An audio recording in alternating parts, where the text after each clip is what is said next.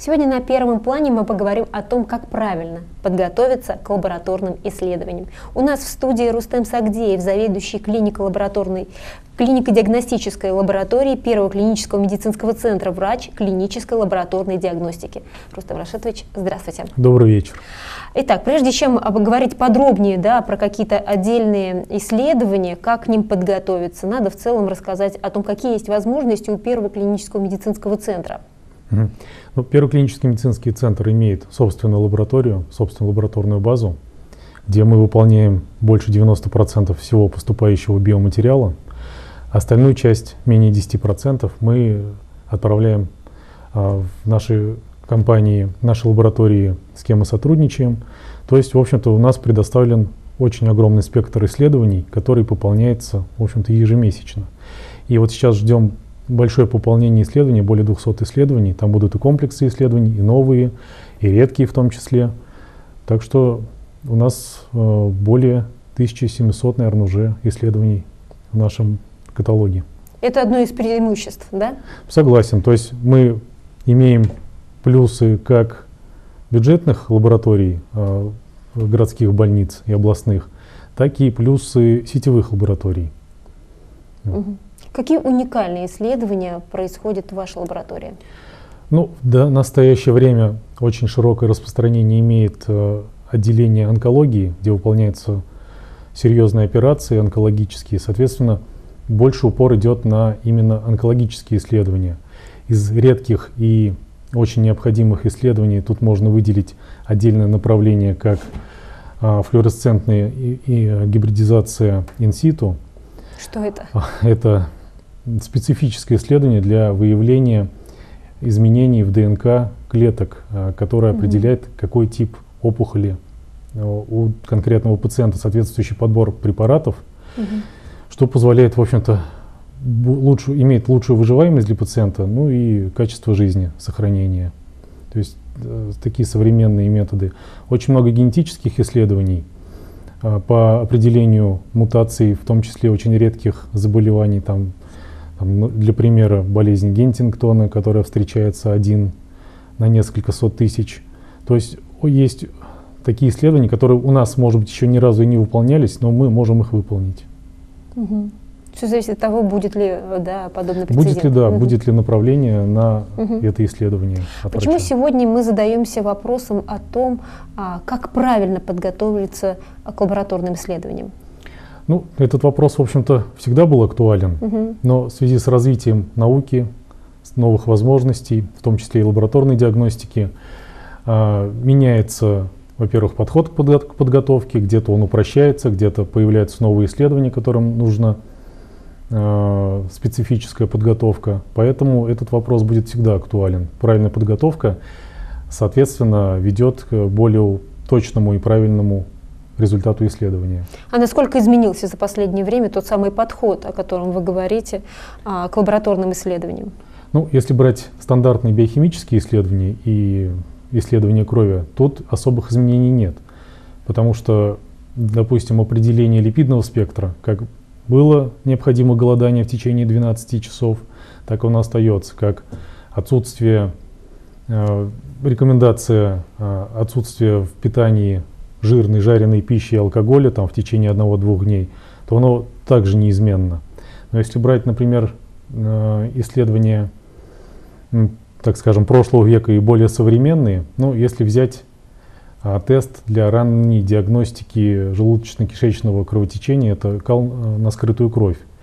А старые методы, бензидиновая проба, была очень тщательная, моментами, наверное, даже изнуряющая подготовка, так как тест очень неспецифический и много ложноположительных результатов. То есть э, если поесть свеклу, либо какие-то красящие, красящие а, продукты, то может быть положительным реакция.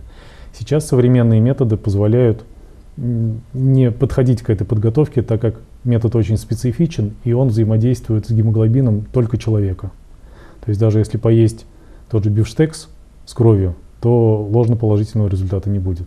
Угу. Это все говорит о том, что мы сегодня уже сделали большой шаг в, в лабораторной диагностической да, сфере. Во-первых, да, более специфический угу. метод, более точное определение, более удобно для пациента меньше подготовки, ну и так далее. Угу. Есть а, универсальные правила для сдачи психоанализов? Угу. Ну, у каждого, у большинства, в общем-то, исследований есть специфические правила универсальные, угу. но все-таки они могут быть индивидуальны для конкретного исследования, там, более редкого, может быть, менее распространенного. Если брать универсальные методы, то все-таки мы рекомендуем сдавать, если мы говорим о сдаче крови, то натощак после от 8 до 12 часов голодания. Пить можно воду, то есть не рекомендуются соки, чай, кофе, уж тем более сладкие, так как mm-hmm. это тоже является пищей и могут изменяться параметры. А, не курить хотя бы за час до исследования. А, отсутствие эмоциональной перегрузки за день до исследования, тяжелых физических нагрузок. В общем-то, вот эти вот правила, наверное, универсальные. И сдавать все-таки рекомендуется в основном в утренние часы. Это особенно важно для гормонов. Угу. А вот сегодня, да, наоборот, многие клиники, они увеличивают время забора анализов для того, чтобы удобно было сдать и после работы. Но все-таки есть а, да, те, которые подвержены суточным колебаниям. Есть специфические маркеры, которые именно, да, зависят от времени суток, а, которые сдаются строго, либо строго утром, либо для диагностики в динамике в разное время суток. Но это, например, некоторые гормоны, такие как АКТГ, адренокортикотропный гормон. То есть у него разные нормы э, как утром, так и после обеда. И, в общем-то, тут по согласованию с врачом врач рекомендует сдавать именно в определенное время. Что говорить об остальных анализах? Да, там может быть широкий разбег, то есть нет строгой привязки, что именно утром, но, э, то есть можно сдавать их в любое время.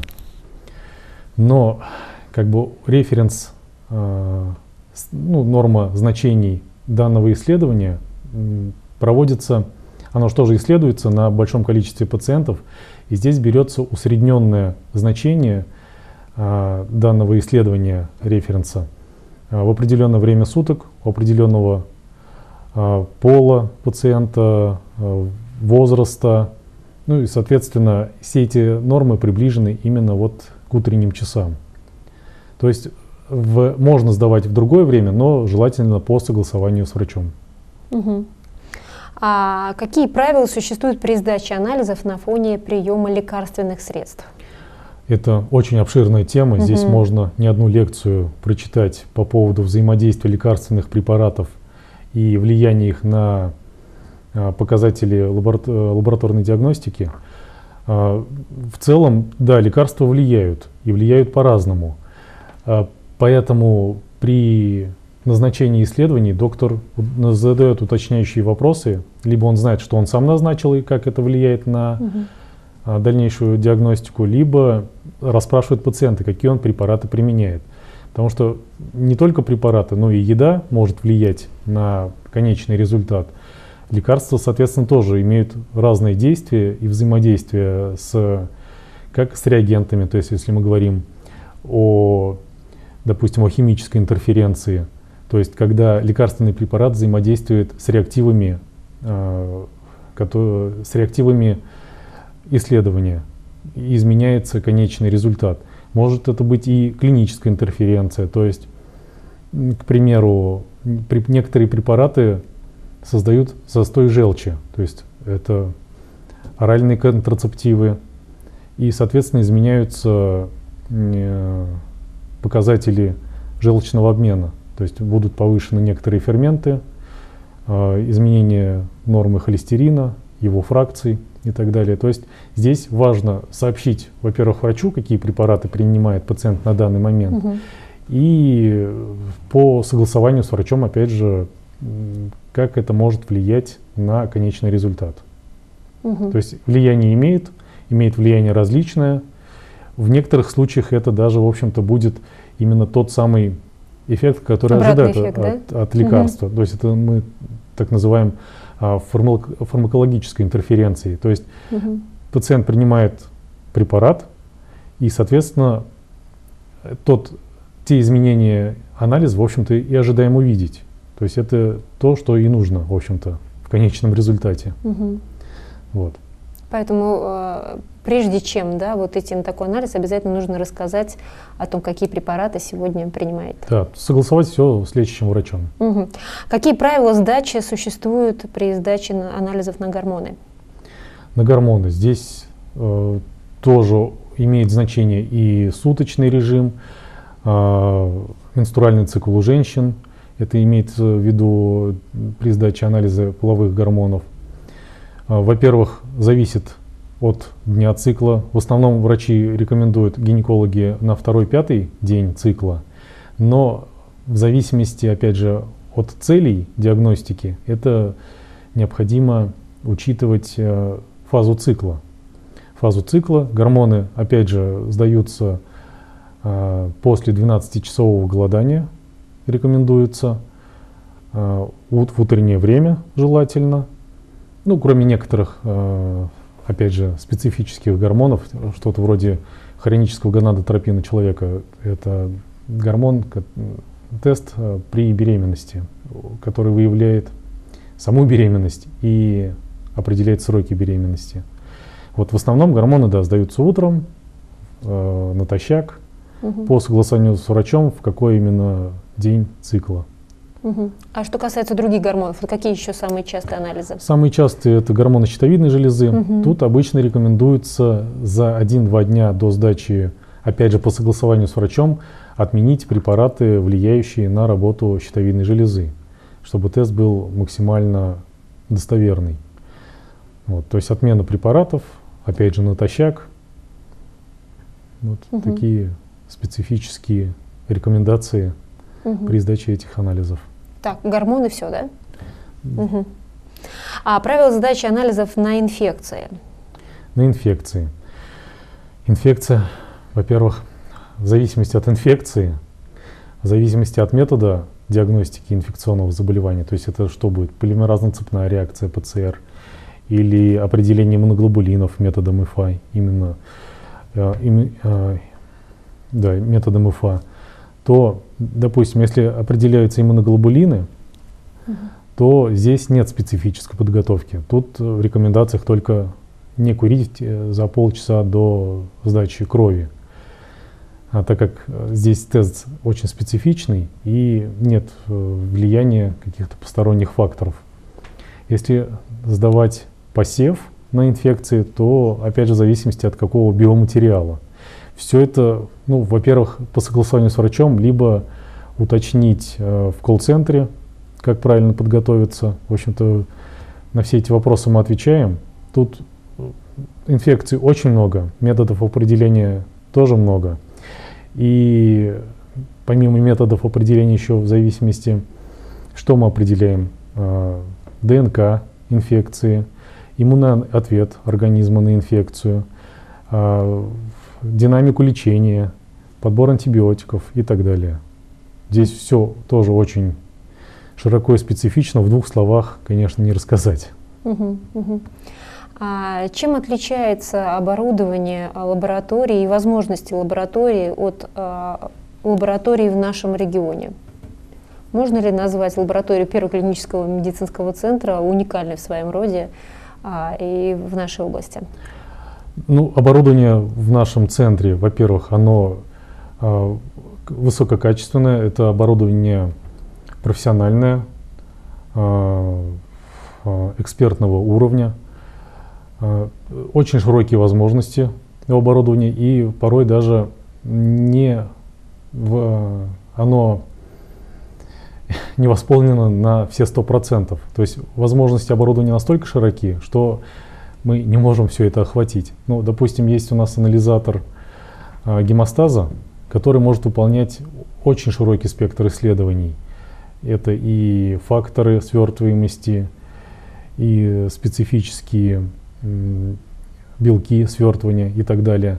Но так как таких пациентов у нас достаточно мало, и нет такой потребности, соответственно, анализатор работает не на полную катушку. Но мы смотрим в будущее, в общем-то, развиваемся и думаем, что это будет все востребовано в будущем. А, все оборудование, да, как я уже сказал, экспертного уровня, а, и возможности его широки и с учетом расширение лаборатории и развитие центра. Угу. Вот смотрите, если вдруг а, кому-то из жителей нашего региона понадобится какое-то уникальное обследование а, лабораторное, можно ли привести а, какие-то материалы, либо приехать самому, сдать, хотя человек, например, наблюдается в другой там поликлинике, в другом даже регионе? Ну, конечно, это все возможно. Угу. Можно либо доставить биоматериал пациента, в общем-то, есть такая возможность, либо пациент сам приезжает в клинику, сдает все необходимое, и так как мы сами э, производим исследования на нашем оборудовании, мы получаем результаты в этот же день. То есть в основном 90% всех исследований мы делаем в этот же день. А менее востребованные, которые мы отдаем на аутсорс, это, конечно, либо следующий день в основном, либо некоторые специфические, соответственно, больше. Те же посевы, то есть э, посев от 4 до 6 суток. То есть нужно, чтобы произросли, идентифицировать микроорганизм, подобрать антибиотики, антибиотикограмму, бактериофаги, ну и так далее. То есть тут уже требуется время. Бывает ли в клинико-диагностических э, лабораториях спорная ситуация по тому или другому исследованию, когда необходимо получить консультацию извне, из какого-нибудь передового института? Бывают такие случаи. Особенно это касается онкологии, онкологического отделения, mm-hmm. когда необходимо э, дополнительное заключение по гистологическому материалу. Наша лаборатория сотрудничает с НИИ Герцена в городе, Моск... Э, в городе Москва. В общем-то, мы одна, ну, наверное, единственная клиника во Владимирской области и одна из немногих клиник по России, кто имеет такого надежного и в общем-то, мощного партнера по диагностике и консультации гистологического материала. Угу. Помимо уникального оборудования нужны еще и специалисты, которые умеют на этом оборудовании работать а, и действительно а, отличить э, тот или иной да, анализ а, с клинической точки зрения. Скажите, кто работает в вашей команде? У нас в лаборатории работают э, доктора, ну, можно сказать, со всей России. Во-первых, в нашей клинике доктора специалисты высококлассные и представлены, наверное, из всех регионов России. Это и Нижний Новгород, и Ивановская область, и Самарская область, и так далее, до самого Дальнего Востока. Угу. И в нашем отделении доктора из Нижнего Новгорода есть. Я долгое время жил в Самарской области, в городе Самара. Вот. Э, средний персонал в основном, конечно, из Владимирской области. Угу. Вот. А, скажите, вот сегодня а, повышается ли ответственность пациентов а, перед каким-либо лабораторным э, диагностированием? Ответственность пациента перед Да, перед сдачей да, ну, анализов, ну, в любом случае пациент несет да, сегодня вот культура она вот как-то угу. растет? Замечаете Культура, это? Изменения есть. Здесь угу. я согласен. Изменения в лучшую сторону, потому что пациенты начинают сейчас осознавать, что их здоровье в их собственных руках. Не так, как устаревшее мнение, что врачи обязаны спасти и так далее, и только в их руках. Сейчас идет вот эта целенаправленная работа, когда пациент правильно осознает свое состояние, свое положение, он либо доверяется врачу, либо не доверяет свое здоровье. И только совместными усилиями можно прийти к лучшему результату, когда пациент полностью доверяет себя врачу, врач выполняет совместно с пациентом диагностику, лечение и достигает определенного результата. И это вот самый лучший подход, такой, в общем-то, мировой подход к лечению современному. А, вообще хотелось бы сказать несколько слов по еще по нашей лаборатории, угу. по принципам работы. А, во-первых, что наша лаборатория отличает? Это аналитическая надежность. Мы участвуем в федеральном контроле качества производимых исследований, а, работаем с контрольными образцами ведущих производителей. Так как мы все-таки частная лаборатория, частная организация, мы можем не скупиться на качестве реагентов, то есть у нас реагенты лучшего качества, и сами проводим контроль, во-первых, внутрилабораторный контроль качества ежедневный, только после чего начинаем, собственно, работу – и плюс э, сличение результатов э, внешнего контроля качества.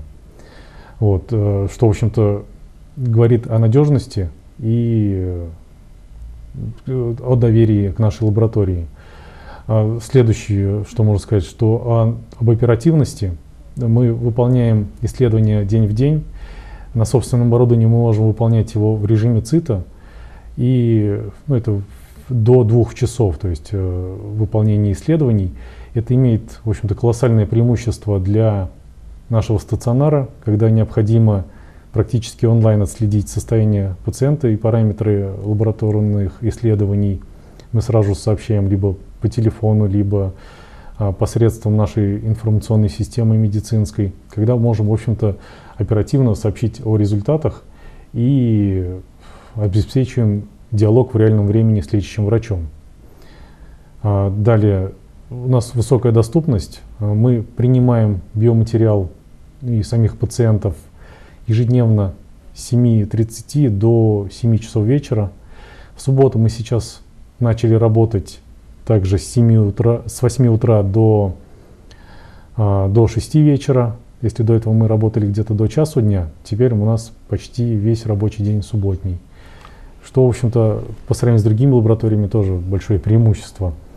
Больш... Э, простота и удобство обеспечиваем всем необходимым для сбора биоматериала и системами для сбора а, пациентов, также и отделения наши.